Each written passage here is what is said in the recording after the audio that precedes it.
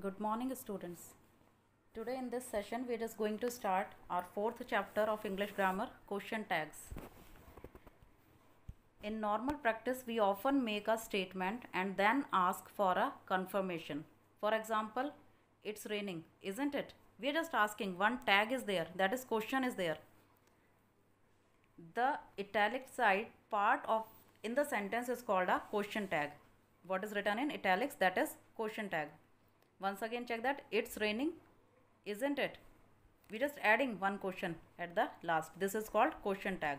Some important rules of question tags. First one, when a word which gives a negative sense, for example, seldom, hardly, never, nobody, neither, none, etc., is used, question tag is kept positive. For example, a barking dog seldom bites. Does it?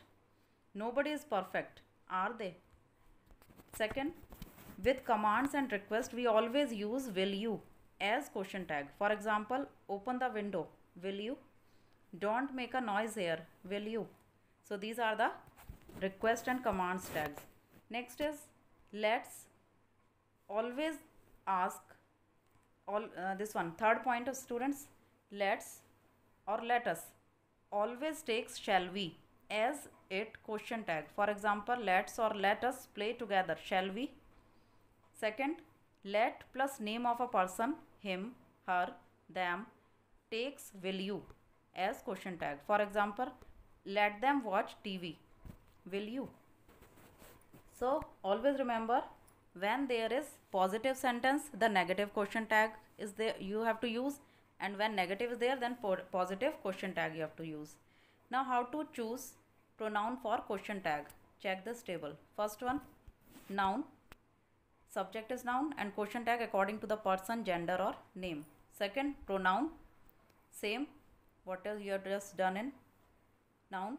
Now third is this or that. You have to use it the question tag. For these and those you have to use the question tag they. Nobody or somebody. Question tag you have to use they. Everybody anybody. Now you have to use they. No one someone everyone. The question tag you have to use they for nothing something or everything. Your question tag is it.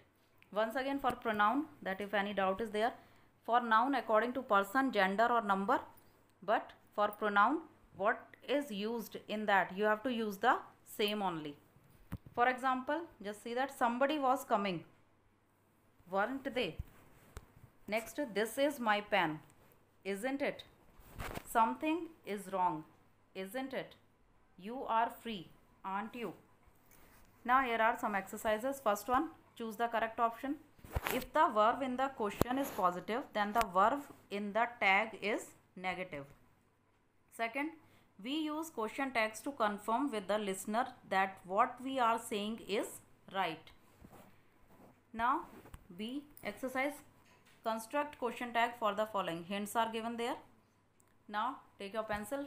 Be ready to fill your books. First one. You didn't meet her did you? Second everything is fine isn't it? Let him stay alone in his room will you? Next raj speaks english well doesn't he? Next one. You didn't help me when i needed it did you? Sixth ashish tried to cheat me didn't he? Let's dance together shall we? Nobody is taking a day off are they? I am wrong aren't i? Let the children go out will you? Next sentence don't spit inside the hall will you? Now 12th point please write to your mother. Again question tag is there will you nobody was ready. Were they? And 14th last point nothing is perfect is it? Question mark. Now next exercise fill the correct question tag. Here some pictures are there. Sentences are incomplete. You have to use your own question tags. Fill properly by yourself. This is your homework. Check each and every picture here are that all 12 pictures are there on the screen. You have to fill by yourself the proper question tag. So this exercise is your homework.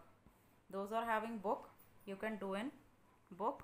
Otherwise use your notebooks for doing the all the exercises. Thank you students